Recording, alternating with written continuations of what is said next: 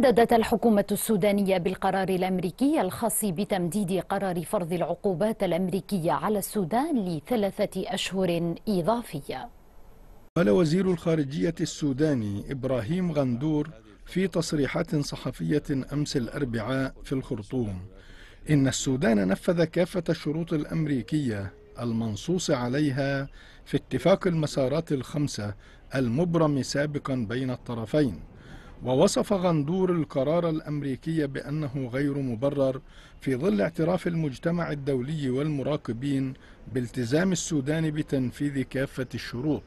نأسف لصدور مثل هذا القرار آه، بعد هذه الفترة الطويلة آه، من الحوار والتداخل بين السودان والولايات المتحدة الأمريكية وفقا لخطة المسارات الخمس والتي باعتراف الجانب الأمريكي والأوروبي والدولي والأفريقي قد قام السودان بالإيفاء بها كاملة.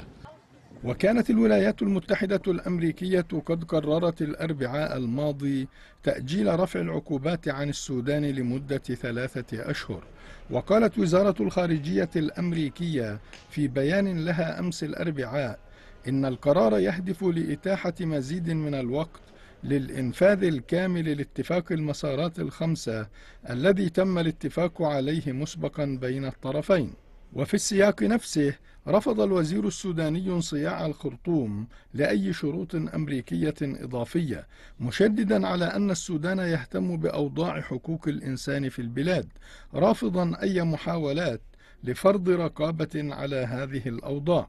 وكان القرار الأمريكي قد وضع شروطا إضافية لرفع العقوبات عن السودان تتعلق بتحسين أوضاع حقوق الإنسان والحريات الدينية في البلاد بالإضافة لالتزام السودان الكامل بقرارات مجلس الأمن الدولي المتعلقة بكوريا الشمالية. حقوق الإنسان ليست جزءا من المسارات الخمس والإنسان حقوق الإنسان السوداني محفوظة الكل يعلم ذلك ونظرة واحدة في هذا البلد الأمين تؤكد هذا الأمر تماما. وكانت إدارة الرئيس الأمريكي السابق باراك أوباما قد قررت في يناير الماضي رفعا مؤقتا للعقوبات التي استمرت عشرين عاما واشترطت التزام السودان بتنفيذ اتفاق المسارات الخمسة خلال ستة أشهر من أجل تنفيذ الرفع النهائي.